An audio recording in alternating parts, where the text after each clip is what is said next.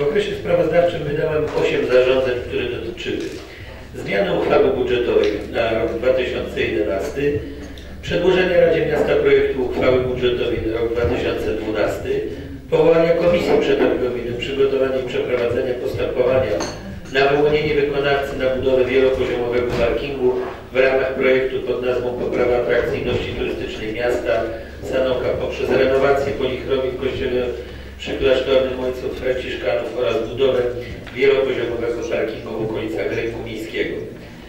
Następnie powołania Komisji Przetargowej do przeprowadzenia przetargu ograniczonego licytacyjnego na dzierżawę stoisk handlowych nr 20 i 21 położonych na hali targowej przy ulicy Piłsudskiego. Dalej powołania Komisji Likwidacyjnej do likwidacji składników majątkowych w Urzędzie Miasta oraz ogłoszenia otwartego konkursu na realizację zadania publicznego w 2012 roku przez organizacje pozarządowe oraz podmioty uprawnione do prowadzenia działalności pożytku publicznego działające na terenie miasta Sanoka. Wysoka Rado, 28 października w gimnazjum nr 1 odbyła się uroczystość nadania tej placówce imienia Grzegorza z Sanoka. To druga szkoła w Sanoku, która nosi imię naszego wielkiego historycznego rodaka. 9 listopada uczestniczyliśmy w corocznym świętowaniu z okazji odzyskania przez Polskę niepodległości. Odbyły się wieczornice, zapszczyki, uroczystość na zamku, a 11 listopada msza święta przemarsz ulicami miasta oraz złożenie kwiatów i wieńców pod pomnikami. Wysoka Rado, z racji, że uroczystości organizują wymiennie raz miasto wraz z powiatem, zwracam się z prośbą do Państwa radnych o uczestniczenie w naszych obchodach, bo delegacje radnych miejskich liczą średnio 2-3 osoby, a w przypadku powiatu znacznie więcej. 15 listopada przebywałem w Ministerstwie Sportu, w Komitecie Olimpijskim i AKS. Brałem udział w spotkaniach dotyczących aktywizacji środowisk młodzieżowych w sportach amatorskich i w rozgrywkach różnych dyscyplin na najwyższych klasach. 17 listopada uczestniczyłem w Rzeszowie w konferencji Podkarpacie Silna Marka, podczas której wielu prelegentów przedstawiało szanse Podkarpacia w pozyskiwaniu inwestorów. Pokazano mechanizmy promocji inwestycyjnej województwa. Niestety, ewidentnie zauważalne było promowanie ośrodków w północnej części województwa, jak Stalowa Tarnobrzeg, Rzeszów. W swoim wystąpieniu nie umieszkałem zwrócić na to uwagi, przedstawiając argumenty okołoinwestycyjne wykraczające poza atrakcje miasta Sanoka, związane z muzealnictwem, sportem, rekreacją czy kulturą. Obecni przedstawiciele z innych miejscowości poparli moje stanowisko. Padła deklaracja o całościowym, a nie wyrywkowym promowaniu inwestycyjnym Podkarpacia. 18 listopada uczestniczyliśmy w oddaniu nowego placu zabaw przy przedszkolu nr 3. To kolejna nasza placówka doposażona inwestycją, której do tej pory nie było na tym osiedlu. 23 listopada wspólnie z prezesem spółki Aquapark uczestniczyłem w spotkaniu w Instytucie Meteorologii i Gospodarki Wodnej w Krakowie w sprawie dodatkowych argumentów, które musimy wykorzystać składając odwołanie od odmowy ustalenia warunków zabudowy dla akwaparku. Pragnę poinformować że takie odwołanie o nową interpretację w terminie ustawowym 7 dni złożyliśmy wczoraj do Generalnej Dyrekcji RZGW Warszawy. Musicie Państwo wiedzieć, że zrobiliśmy to z dwóch powodów. Po pierwsze, nie rezygnuję ze starań o tę inwestycję. Po drugie, odmowa tego typu skutkuje nawet jakimkolwiek remontami czy nowymi inwestycjami w tym terenie. Na przykład, gdybyśmy chcieli remontować istniejące dzisiaj stare nasze baseny i kryte i otwarte, musielibyśmy również uzyskać uzgodnienia z RZGW, a one na ten moment są takie jak w sentencji. Dlatego też złożyłem odwołanie, a o efektach będę Państwa na bieżąco informował. 24 listopada uczestniczyłem w obchodach, zaznaczam jeszcze, żeby Państwo wiedzieli, odmowa uzgodnienia warunków zabudowy wzięła się tylko i wyłącznie z map, które y, w listopadzie 2009 roku, 10 y, roku były y, ogłoszone przez RZGW i daleko wykraczały poza tereny Mosiru w terenie zalewowym miasta Sanoka i dlatego te procedury wdrażamy od nowa. poprzez właśnie od, to odwołanie. I 24 listopada uczestniczyłem w obchodach święta górnika, święta naszych sanockich naftowców i gazowników. Podczas rozmów z członkami zarządu z Warszawy miałem możliwość uzyskania informacji na temat polityki inwestycyjnej w regionie, planów rozwojowych firm, a także projektowanego kompleksu centrum logistycznego przy ulicy Rymanowskiej, który mając szansę realizacji zmieniłby całkowicie wygląd tej części miasta, nadając jej nowoczesny wymiar. 25 listopada odbyłem spotkanie z jednym z stanockich cukierników, który chce skorzystać z naszego pomysłu wprowadzenia na sanocki rynek spożywczego produktu cukierniczego utożsamianego tylko z Sanokiem. Do końca grudnia czekam na projekt, a, jak ogłoszę, a ja ogłoszę y, publiczny konkurs dla Sanoczan o, o nadanie nazwy tego produktu. Chcielibyśmy, aby już w przyszłym roku mógł być sprzedawany wzorek krakowskich precli, zarówno z estetycznych wózków, jak i w cukierniach. Wysoka Rado.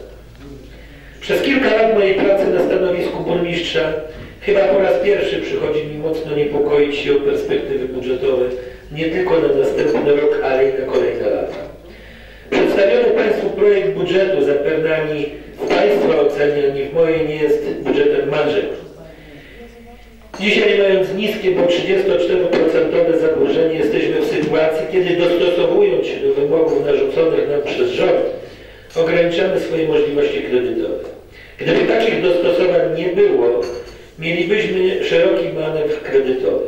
Podczas spotkań, w których uczestniczę z burmistrzami, prezydentami polskich miast, słychać te same argumenty, zawierające się między innymi w słowach Taka polityka rządu w stosunku do samorządów to droga do zahamowania rozwoju. Jeżeli samorządów, to przecież i Polski. Śledząc pogarszającą się i chyba na ten moment nieprzewidywalną sytuację ekonomiczną w Polsce i na świecie, bombardowani przez media informacjami o nieprzewidywalnej przyszłości i braku stabilizacji finansowej, musimy tak konstruować nasz budżet, zmniejszając praktycznie jego wszystkie elementy. Ekonomiści, zwłaszcza rządowi, twierdzą, że na skutek przysłowiowego łańcuszka spadać może, spadać będą dochody polskich miast, a zwiększać się będzie obciążenie samorządów nowymi zadaniami. Obyśmy nie doczekali czasów, że w tej kadencji trzeba będzie ograniczać inwestycje do minimum. Z tego typu, w tego typu sytuacjach samorządy dostosowując się do wzrastającego poziomu biedy będą musiały ułożyć coraz to większe pieniądze na opiekę społeczną. Gdyby oby nie ziściły się te czarne scenariusze dla naszych polskich samorządów. Jestem na etapie konstrukcji swojego stanowiska do przewodniczącego Rady Miasta co do moich według mnie niezbędnych działań związanych z budżetem, to jest zadań niestety nieprzewidzianych w budżecie na rok 2012, ale takich, na które bezsprzecznie w przyszłym roku musimy znaleźć pieniądze. Do tego będę przekonywał Państwa radnych. Jeżeli dekoniunktura w nieruchomościach nie osiągnie maksimum, to tu musimy właśnie upatrywać, jak to robią inne samorządy, możliwości przysłowiowego łatania budżetu po to, aby realizować inwestycje, na przykład drogowe, najbardziej potrzebne mieszkańcom, ale przede wszystkim, aby mieć środki na udziały własne do projektów unijnych, z których absolutnie ja nie zrezygnuję a do których Państwa będę gorąco przekonywał. Wysoka Rado, jednym słowem musimy prowadzić w najbliższych latach taką politykę finansową, aby miasto się rozwijało, a równocześnie tak gospodarzyć pieniędzmi tu w Sanoku, aby drastycznie nie obciążać mieszkańców wzrostami podatków czy innych opłat.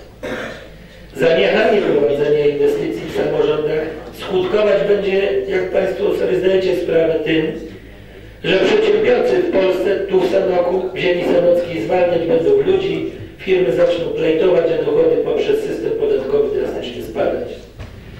I o tym dzisiaj myśli każdy polski wójt, burmistrz, prezydent oraz skarbnicy poszczególnych samorządów. Mam nadzieję, że ten celny scenariusz, do którego zaczynają nas przyzwyczajać rząd i analitycy ekonomiczni, jest znacznie na wyrost. Wierzę, że wysłuchany zostanie głos polskich samorządów, aby móc rozwijać w dalszym ciągu Polskę rozwój samorządów. Wracając jeszcze raz do budżetu 2012 roku, chcę powiedzieć, że przed nami realizacje wielkich zadań inwestycyjnych. Jak na przykład Placu Świętego Michała, Grzegorza, Piłsudskiego, jak parking, jak boiska przy każdej szkole. Więc wskaźnik inwestycyjny będzie robiony. Będziemy robić, realizować inwestycje ponaddzielnicowe, bo ogólnomiejskie. Bo są to potężne inwestycje. Jednym słowem, my jako odpowiedzialni za, odpowiedzialni za miasto Samo, będąc wrażliwymi na wszystko to, co potencjalnie może przynieść pogłębiający się kryzys, musimy patrzeć na wszystkie aspekty funkcjonowania miasta. Będąc bardzo ostrożnymi w wydawaniu pieniędzy, ale i nie całkiem zachowawczymi. To znaczy, abyśmy umieli szukać możliwości dodatkowych dochodów. I o to będę u Państwa zabiegał. Przygotowuję plan sprzedaży, taki, który, o który będę dodatkowo u Państwa zabiegał. Między innymi tereny i działki takie, które nie poprzez pryzmat jednej kadencji, tej trwającej, czy poprzedniej, ale trzeciej mojej i trzeciej kilku Państwa radnych, które były planowane do sprzedaży w przypadku wybudowania na przykład parkingów i zmniejszania yy, tego areału pod parkingi, bo mamy galerię przed nami i to nieprawda jest, co Państwo niektórzy mówicie bez sensu i grubiańsko, arogancko, żeby Lechaczykowi dokuczyć, a mianowicie, że galeria, że ktoś się wycofuje z galerii Okęcie. Nie, drodzy Państwo. Wystarczy spytać siedzącego tu sekretarza y, miasta, równocześnie członka zarządu powiatu, jakie mamy problemy z drogami powiatowymi. Mam nadzieję, że to jest już wyjaśnione. Będzie już y, uzgodnienia będą 5 grudnia na wzudzie. Będzie złożone pozwolenie na budowę i ruszamy na wiosnę. Ruszamy na wiosnę, bo inwestor jest. Inwestor z niczego nie rezygnuje.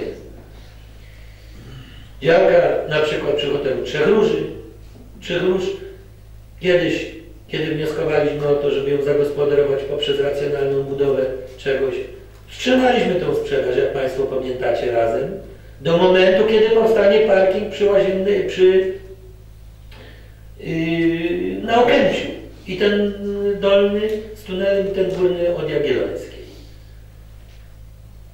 Racjonalnym jest gospodarowanie nieruchomościami tak, aby będąc sprzedanymi dały możliwość inwestorowi wybudowania tam czegoś, stworzenia kilku miejsc pracy i uzyskania dla miejsca dochodu nie tylko jednorazowego przez sprzedaż, ale docelowo poprzez system podatkowy od nieruchomości, czy system podatku CIT-owskiego, jeżeli będzie tam zarejestrowanych kilka firm.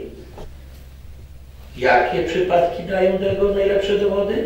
Proszę bardzo, dwa budynki na rynku, cerkiewna, rynek, Plac Świętego Michała, zaraz ruszy działka pod budowę blisko kościoła Farnego na Placu Świętego Michała. Nie tylko powstaje estetyczny budynek, powstaną tam miejsca pracy i będzie dochód z podatku. I o to będę do Państwa zabiegał. Tak robią wszyscy. Nie jest to wyprzedaż majątku, jest to racjonalne gospodarowanie nieruchomościami tak, aby tworzyć następne nieruchomości dające dochód. Dziękuję za uwagę.